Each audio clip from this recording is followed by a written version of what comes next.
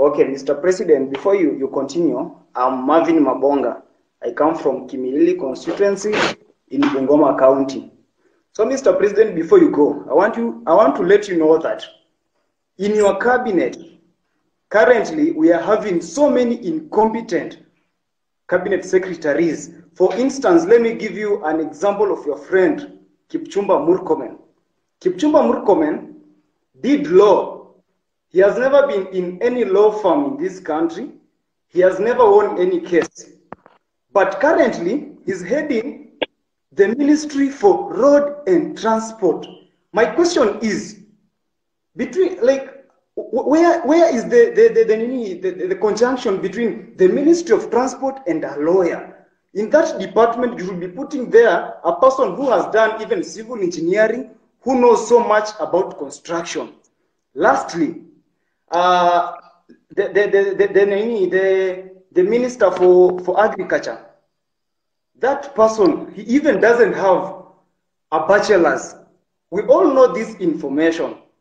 We have the, the, the, the government's website and we Google, we see this information. So, Mr. President, if you are going to give us those people who are incompetent, We need to make sure then we are uh, totally doomed. farmers You know, when we place to sell elected you as the president, normally they say you set a thief to catch a thief. It is not But this time round, when we elected you, Mr. President, that you can help us now catch those people who are corrupt in this nation, Let me also you're just there laughing with them. Um, look at look at uh, Oscar Sudi. He's flaunting with 20 million in a bag in a public uh, forum. I'm even told that there is one of the uh, cabinet minister who was caught in Dubai with 20 million cash, and you you you you you, you, actually came through him, so he wasn't uh, taken to a court somewhere or, or arrested. You know that, Mr. President. Personally, where I sit, I want to pay my rent by 10th. But because I finished campus, I don't have any job anywhere. I'm just here in the city seated. I will be I will not be able to pay that rent because you promised to give us the jobs. But when we elected you, you are now telling us that in the next one year, we are not going to, to employ the youth. Mr. President, do you think that one is not a lie? Lastly, the other day you said, uh, when you were questioned about the boy who was shot, you, you, you didn't know whether he was alive or dead. But now you know that the person who shot that boy is not the police officer. Mr. President, do you think that is a reality? That one is not a reality.